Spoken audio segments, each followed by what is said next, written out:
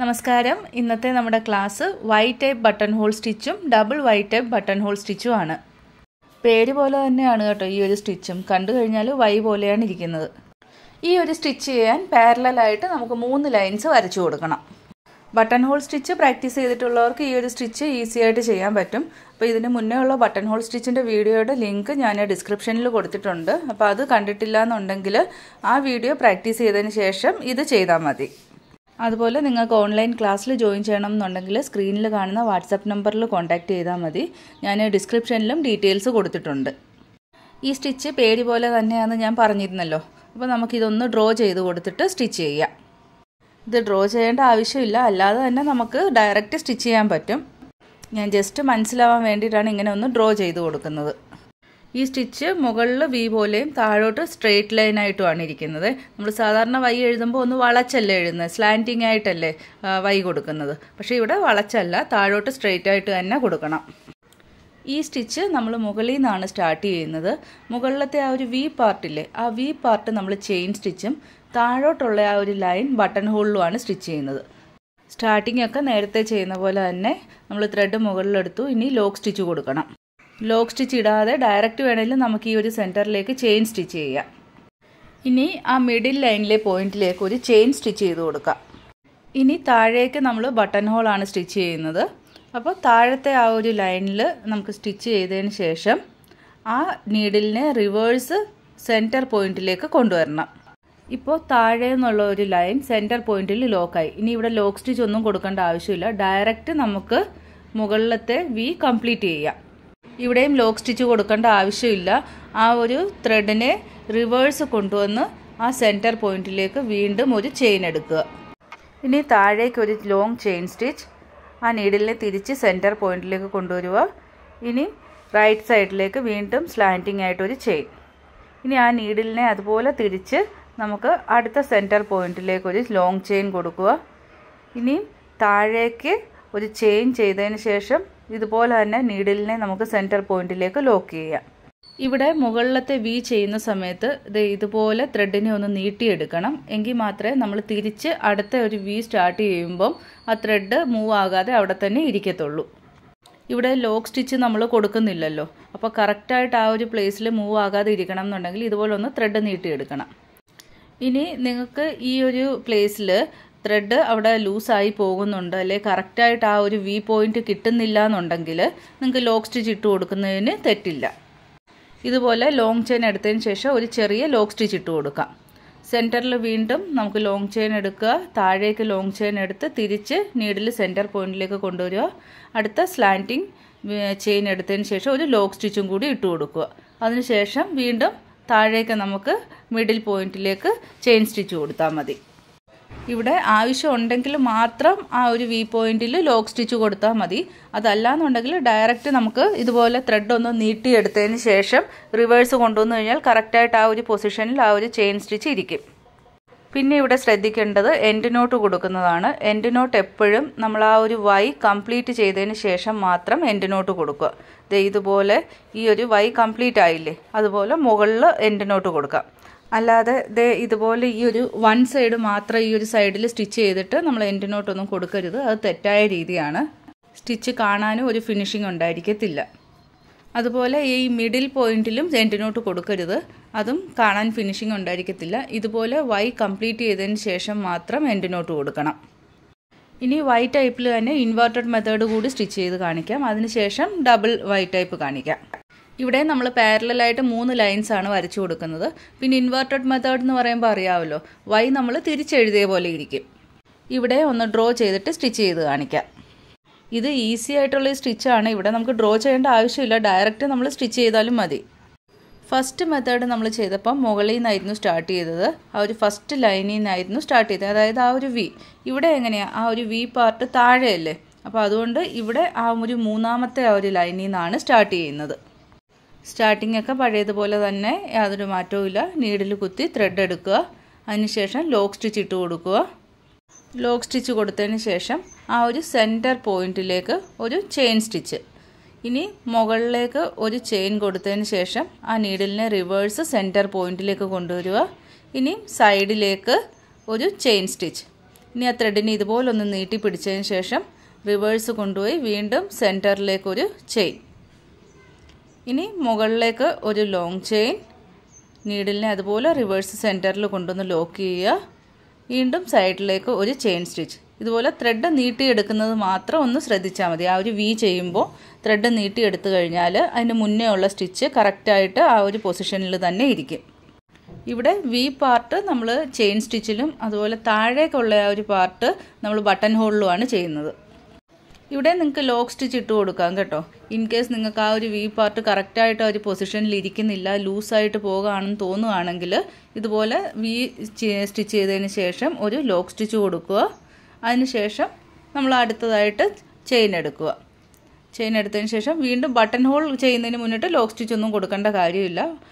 നേരെ ചെയിൻ എടുത്ത് തിരിച്ച് റിവേഴ്സ് സെന്ററിൽ കൊണ്ടുവന്ന് കഴിയുമ്പോഴത്തേക്ക് ആ ഒരു ചെയിൻ ലോക്കായി കഴിയും. പിന്നെ ലോക്ക് സ്റ്റിച്ച് കൊടുക്കേണ്ട കാര്യമില്ല. ജസ്റ്റ് ആ ഒരു വി പാർട്ടിൽ മാത്രം ചെയിൻ മൂവ് ആകുന്നു എന്ന് തോന്നിക്കഴിഞ്ഞാൽ നിങ്ങൾക്ക് ലോക്ക് സ്റ്റിച്ച് കൊടുക്കാം.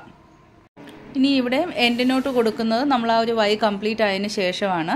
അപ്പം മുകളിലത്തെ മെത്തേഡിൽ നമ്മൾ മുകളിലായിരുന്നു എൻഡിനോട്ട് കൊടുത്തത്. ഇവിടെ നമ്മുടെ ആ ഒരു വി കംപ്ലീറ്റ് ആവുന്നത് താഴത്തെ ലൈനിലല്ലേ? അപ്പോൾ അതുകൊണ്ട് ഈ ഒരു താഴത്തെ ലൈനിലാണ് നമുക്ക് എൻഡിനോട്ട് കൊടുക്കേണ്ടത്. ഹാങ്ങിങ് ഡിസൈനൊക്കെ വരുന്ന സ്ലീവ്സ് ചെയ്യുമ്പോൾ നമ്മൾ ഇതുപോലെ ഒരു വൈറ്റ് ടൈപ്പ് ബോർഡർ കൊടുക്കുകയാണെങ്കിൽ കുറച്ചുകൂടെ നല്ലതായിരിക്കും. വൈറ്റ് ടൈപ്പിന്റെ ഇത് ഫസ്റ്റ് മെത്തേഡ്. അടുത്തത് സെക്കൻഡ് മെത്തേഡ് ഫസ്റ്റ് മെത്തേഡും സെക്കൻഡ് മെത്തേഡും ചെയ്യാൻ നമ്മൾ മൂന്ന് പാരലൽ ലൈൻസ് ആയിരുന്നു വരച്ചത്. ഇനി ഡബിൾ വൈ ടൈപ്പ് സ്റ്റിച്ച് ചെയ്യാനായിട്ട് നമുക്കിവിടെ അഞ്ച് ലൈൻസ് വരച്ചു കൊടുക്കണം. മുകളിൽ നമ്മൾ ഒരേ ഡിസ്റ്റൻസിലായിരുന്നു ലൈൻസ് വരച്ചത്. ഇവിടെ ഞാൻ ഡ്രോ ചെയ്യുമ്പം ആ ഒരു ബട്ടൺ ഹോൾ ചെയ്യുന്ന പോർഷൻ ഇല്ലേ ആ താഴേക്കുള്ള ലൈൻ ആ ഒരു പാർട്ട് വരുന്ന സ്ഥലത്ത് ഞാൻ വീതി കുറച്ചിട്ടാണ് ഡ്രോ ചെയ്യുന്നത്. ദാ ഈ ഒരു പാർട്ടില്ലേ ഈ താഴേക്കുള്ള ലൈന് ഈ ഒരു ലൈൻ വരുന്ന സ്ഥലത്ത് ഞാൻ വീതി കുറച്ച് ചെയ്യുകയാണ്. നമ്മുടെ ഇവിടെ മുകളിലും അതുപോലെ ഏറ്റവും താഴെയും വരുന്ന ലൈൻസ്. അതിന്റെ വീതി ഒന്ന് കുറച്ചിട്ടാണ് ഞാൻ ഡ്രോ ചെയ്തിരിക്കുന്നത്. ഇതുപോലെ നമുക്ക് ആ ഒരു വി പാർട്ടും വീതി കൂട്ടിയോ കുറയ്ക്കുകയോ ഒക്കെ ചെയ്യാം കേട്ടോ. ആദ്യം ഫസ്റ്റ് മെത്തേഡ് സ്റ്റിച്ച് ചെയ്ത് കാണിക്കാം. അപ്പോൾ അത് നമ്മൾ താഴത്തെ മൂന്ന് ലൈനിലാണ് സ്റ്റിച്ച് ചെയ്യുന്നത്. മുകളിൽ ഫസ്റ്റ് മെത്തേഡ് ചെയ്ത അതേ രീതിയിൽ തന്നെയാണ് യാതൊരു മാറ്റവും ഇല്ല. അപ്പം ഞാനിവിടെ ഡ്രോ ചെയ്യാതെ തന്നെയാണ് സ്റ്റിച്ച് ചെയ്യുന്നത്. പിന്നെ ആ ഒരു വി പാർട്ടിൽ നിങ്ങൾക്ക് ലോക്ക് കൊടുക്കാതെ ചെയ്യാൻ പറ്റുമെങ്കിൽ അങ്ങനെ തന്നെ ചെയ്യുക. ഇൻ കേസ് നിങ്ങളുടെ ആ ഒരു ചെയിൻ സ്റ്റിച്ച് മൂവ് ആകുന്നുണ്ട് കറക്റ്റായിട്ട് ആ ഒരു പ്ലേസിൽ ഇരിക്കുന്നില്ല എന്നുണ്ടെങ്കിൽ മാത്രം അവിടെ ലോക്ക് സ്റ്റിച്ച് കൊടുത്താൽ മതി. അല്ലെങ്കിൽ റിവേഴ്സ് എടുത്ത് സ്റ്റിച്ച് ചെയ്ത് പോയാൽ മതി. ഈ സ്റ്റിച്ച് നമ്മൾ സ്റ്റോൺസോ അല്ലെങ്കിൽ ബീഡ്സൊക്കെ വെച്ച് സ്റ്റിച്ച് ചെയ്താൽ കുറച്ചുകൂടെ ഭംഗിയാണ്. ഇപ്പോൾ ഒരു ലെയർ നമ്മുടെ കംപ്ലീറ്റ് ആയി. എൻഡ് നോട്ട് ആ ഒരു വൈ കംപ്ലീറ്റ് ചെയ്തതിന് ശേഷം ആ ഒരു മുകളിലത്തെ സെന്റർ പോയിന്റിൽ കൊടുക്കണം. ഇവിടെ ഞാൻ സെയിം ത്രെഡ് തന്നെയാണ് ഓപ്പോസിറ്റ് ചെയ്യാൻ യൂസ് ചെയ്യുന്നത്. അതുകൊണ്ട് ഞാൻ എൻഡ് നോട്ട് കൊടുക്കുന്നില്ല. അവിടെ ഒരു ലോക്ക് സ്റ്റിച്ച് കൊടുത്തിട്ട് ഡയറക്റ്റ് സ്റ്റിച്ച് ചെയ്യുകയാണ്. ഇപ്പം നമ്മൾ ആ ഒരു ഫസ്റ്റ് മെത്തേഡല്ലേ ചെയ്തത്. ഇനി നമുക്ക് ഓപ്പോസിറ്റിൽ ഈ ഒരു സെക്കൻഡ് മെത്തേഡില്ലേ ആ ഒരു സെക്കൻഡ് മെത്തേഡാണ് ചെയ്യേണ്ടത്. ഇവിടെ വി സ്റ്റിച്ച് ചെയ്യുമ്പോൾ താഴത്തെ ആ ഒരു വിയുടെ പോയിന്റ് എടുത്തില്ലേ അതേ സെന്റർ പോയിന്റിൽ വരുന്ന രീതിയിൽ എടുക്കണം. ഇനി ഡബിൾ വൈ സ്റ്റിച്ച് ചെയ്യുമ്പോൾ എല്ലാവരും ചെയ്യുന്ന ഒരു മിസ്റ്റേക്ക് കൂടി പറയാം. അത് ഞാൻ സ്റ്റിച്ച് ചെയ്ത് തന്നെ കാണിക്കാം. നമ്മൾ എന്താ ചെയ്യുന്നത് ഈ ഒരു വി ഈ ഒരു താഴത്തെ വിയുടെ ആ ഒരു പോയിന്റിനോട് ചേർത്ത് നമ്മൾ സ്റ്റിച്ച് ചെയ്യുക. ത്രെഡ് നീട്ടിയെടുത്തു. വീണ്ടും നമ്മൾ റിവേഴ്സിലേക്ക് വി സ്റ്റിച്ച് ചെയ്ത് കൊടുക്കും. രണ്ട് മൂന്ന് സ്റ്റിച്ച് ചെയ്ത് കാണിക്കാം. എങ്കിലേ ആ ഒരു മിസ്റ്റേക്ക് മനസ്സിലാകത്തുള്ളൂ. ഇവിടെ ആ ഒരു രണ്ട് മെത്തേഡിന്റെ വി ജോയിന്റ് ചെയ്യുന്ന ആ ഒരു പോയിന്റ് കണ്ടോ? ഞാൻ സൂം ചെയ്ത് കാണിക്കാം. അവിടെ കറക്റ്റായിട്ട് ജോയിന്റ് ആവുന്നില്ല. ഇടയ്ക്ക് ഒരു ഗ്യാപ്പ് വരുന്നുണ്ട്. മാത്രമല്ല അവിടെ ഒരു ഹോളും വലുതാവുന്നുണ്ട്. കാരണം നമ്മൾ ചെയിൻ അങ്ങോട്ടും ഇങ്ങോട്ടും നന്നായിട്ട് വലിക്കുകയല്ലേ ചെയ്യുന്നത്. അപ്പോൾ ലോക്ക് ഇട്ട് കൊടുക്കുന്നില്ലല്ലോ. അപ്പോൾ അതുകൊണ്ട് അവിടെ ഒരു ഹോളും വീഴുന്നുണ്ട്. അവിടെ ജോയിന്റ് ആവുന്നതുമില്ല. ഇങ്ങനെ ചെയ്തു കഴിഞ്ഞാൽ ആ ഒരു സ്റ്റിച്ചിന് ഒരു ഫിനിഷിംഗ് ഉണ്ടായിരിക്കത്തില്ല. അപ്പോൾ ഈ ഒരു മെത്തേഡ് ചെയ്യൽ. അതിനാണ് ഞാൻ സ്റ്റിച്ച് ചെയ്ത് തന്നെ കാണിച്ചത്. സ്റ്റിച്ച് അഴിക്കുമ്പോൾ ഉള്ള ഹോൾസ് എങ്ങനെയാണ് ക്ലിയർ ചെയ്യേണ്ടതെന്നുള്ളത് ഞാൻ കഴിഞ്ഞ വീഡിയോസിൽ കാണിച്ചിരുന്നു. ഇത് ഇതുപോലൊന്ന് റബ്ബ് ചെയ്ത് കൊടുത്താൽ മതി. ഇനി മുകളിലത്തെ ലൈൻ സ്റ്റിച്ച് ചെയ്യുന്ന കാണിക്കാം. ഈ ഒരു വി പോയിന്റ് ഇല്ലേ ഈ ഒരു വി പോയിന്റ് ഉള്ളിലായിട്ടാണ് നമുക്ക് അടുത്ത മുകളിലത്തെ ലൈനിന്റെ വി സ്റ്റിച്ച് ചെയ്യേണ്ടത്. ഇനി വീണ്ടും അതുപോലെ താഴേക്ക് സ്റ്റിച്ച് ചെയ്യുക ബട്ടൺ ഹോൾ ചെയ്യുക. ഇനി താഴത്തെ ആ ഒരു വിയുടെ ഉള്ളിലായിട്ട് നമുക്ക് അടുത്ത ഒരു മുകളിലത്തെ സ്റ്റിച്ച് കൊടുക്കണം. ഒരു ഈ ഒരു മെത്തേഡിൽ ചെയ്യുകയാണെങ്കിൽ കറക്റ്റായിട്ട് ആ ഒരു വി പോയിന്റ് നമുക്ക് ജോയിന്റ് ചെയ്ത് സ്റ്റിച്ച് ചെയ്ത് കിട്ടും. ഈ ഒരു മെത്തേഡിൽ ചെയ്താൽ നമുക്ക് നല്ല ഫിനിഷിങ്ങിൽ ചെയ്യാനും പറ്റും. ത്രെഡ് നീട്ടിയെടുക്കുന്നത് വിട്ടുപോകൽ. ത്രെഡ് നീട്ടിയെടുത്താൽ മാത്രമേ ആ ഒരു കറക്റ്റ് പ്ലേസിൽ അത് മൂവ് ആകാതെ ആ ഒരു ലാസ്റ്റ് ചെയിൻ ഇരിക്കത്തുള്ളൂ. ഈ ഒരു മെത്തേഡിൽ സ്റ്റിച്ച് ചെയ്തിട്ട് നമ്മൾ ബീഡ്സ് വർക്കോ സ്റ്റോൺ വർക്കോ ഒക്കെ ചെയ്യുകയാണെങ്കിൽ കാണാനും നല്ലതായിരിക്കും. ഞാനത് സ്റ്റിച്ച് ചെയ്ത് കാണിക്കാം. എൻഡിനോട്ട് കൊടുക്കുമ്പോൾ നമ്മൾ വൈ കംപ്ലീറ്റ് ചെയ്തതിന് ശേഷം ആ ഒരു താഴെ ഒരു സ്റ്റാർട്ട് ചെയ്ത അതേ പോയിന്റിൽ തന്നെ എൻഡ് എൻഡിനോട്ട് കൊടുക്കുക സെന്റർ പോയിന്റിൽ നമുക്ക് ഇതുപോലെ സ്റ്റോൺസ് ഒക്കെ ഒട്ടിച്ചു കൊടുക്കാം. അതല്ലെങ്കിൽ മുകളിലും താഴെയുള്ള ഒരു ഗ്യാപ്പില്ലേ ആ ഒരു ഗ്യാപ്പിൽ വേണമെങ്കിൽ നമുക്ക് ഇതുപോലെ സ്റ്റോൺസ് കൊടുക്കാം. നമ്മുടെ ക്രിയേറ്റിവിറ്റി അനുസരിച്ച് ഈ ഒരു സ്റ്റിച്ചിനെ എങ്ങനെ വേണമെങ്കിലും ഹൈലൈറ്റ് ചെയ്യാം. നമ്മൾ ഈ ഒരു സെന്ററിൽ സ്റ്റോൺ ഒട്ടിച്ചു കൊടുത്തില്ലേ? ആ സ്ഥലത്ത് വേണമെങ്കിൽ നമുക്ക് റിംഗ് നോട്ട് സ്റ്റിച്ച് ചെയ്യാം. അല്ലെങ്കിൽ ഈ ഒരു വൈ പാർട്ട് നമുക്ക് ബീഡ്സ് സ്റ്റിച്ച് ചെയ്ത് കൊടുക്കാം. ഈ സ്റ്റിച്ചിനെ ഞാനൊന്ന് സ്റ്റോൺസ് ഒട്ടിച്ചു കൊടുത്ത് ഹൈലൈറ്റ് ചെയ്ത് കാണിക്കാം. ഇവിടെ സെന്ററിൽ ഞാൻ ഗോൾഡൻ കളർ ഹാഫ് ബീഡാണ് ഒട്ടിച്ചു കൊടുക്കുന്നത്. നീഡിലിന്റെ ബാക്ക് സൈഡിൽ നമ്മൾ ചെറുതായിട്ടൊന്ന് ഗം തേച്ച് കഴിഞ്ഞാൽ ഇതുപോലെ നീഡിൽ വെച്ച് തന്നെ നമുക്ക് ഇതുപോലെ എടുത്ത് ഒട്ടിച്ചു കൊടുക്കാൻ പറ്റും. ഇനി മുകളിലും താഴെ ഞാൻ ഈ ഒരു ഗോപി ഷേപ്പിന്റെ ഗ്രീൻ കളർ സ്റ്റോണാണ് ഒട്ടിക്കുന്നത്. ഇതിനെ ഗോപി ഷേപ്പെന്നോ അല്ലെങ്കിൽ തിലകൻ ഷേപ്പെന്നോ ഒക്കെ പറയാം. സിമ്പിൾ ബോർഡറിൽ ഒരു സ്ലീവ്സോ അല്ലെങ്കിൽ നെക്ക് ഡിസൈനോ ഒക്കെ ചെയ്യാനാണെങ്കിൽ നമുക്ക് ഇതുപോലുള്ള ഡിസൈനൊക്കെ സെലക്ട് ചെയ്യാം. അല്ലെങ്കിൽ ലോ ബഡ്ജറ്റിൽ ചെയ്യാൻ അല്ലെങ്കിൽ നമുക്ക് പെട്ടെന്ന് ചെയ്യാനൊക്കെ ആണെങ്കിൽ അതായത് ഒരു ദിവസം കൊണ്ടൊക്കെ പെട്ടെന്ന് സ്റ്റിച്ച് ചെയ്യണമെന്നൊക്കെ ഉണ്ടെങ്കിൽ ഇതുപോലുള്ള ഡിസൈനൊക്കെ സെലക്ട് ചെയ്യുകയാണെങ്കിൽ ഈ ഒരു ഡിസൈന് നന്നായിട്ട് ഹൈലൈറ്റ് ചെയ്തും അതുപോലെ നമുക്ക് ചെയ്യാനും എളുപ്പമാണ് ബഡ്ജറ്റും കുറവായിരിക്കും.